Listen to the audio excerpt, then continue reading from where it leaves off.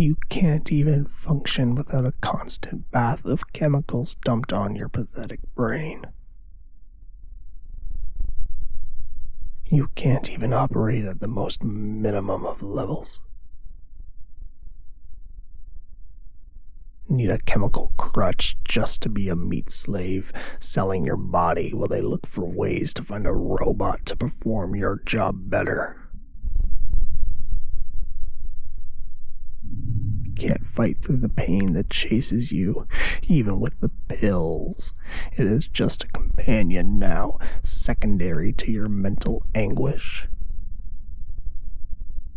Sterilize your mind with more chemistry dumped on it. At least you can quiet the thoughts with the drugs they give you. Ignore the voice for another day. You pathetic excuse for a man.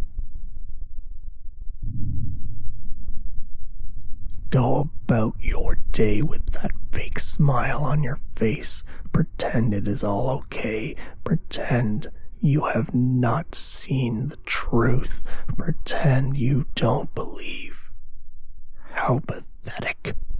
How worthless, how useless, how disgusting, how horrible, how damaging you really are.